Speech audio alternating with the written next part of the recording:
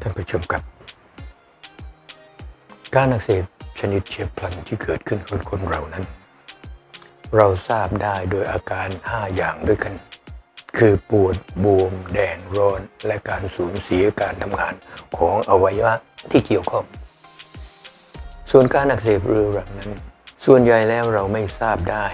นอกเหนือจากแพทย์เป็นคนบอก เพื่อเป็นการหลีกเลี่ยงอันตรายจากการอักเสบเรื้อรัง สิ่งที่เราสามารถกระทำได้ก็คือออกกำลังกายอย่างสม่ำเสมอทานอาหารที่ดีมีคุณค่าทางสารอาหาร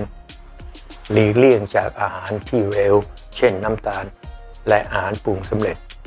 ประการที่ 3 นอนหลับพักผ่อนให้เพียงพอความต้องการและสุดท้าย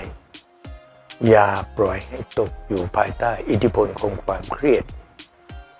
นั่นคือสิ่งที่เราสามารถกระทำได้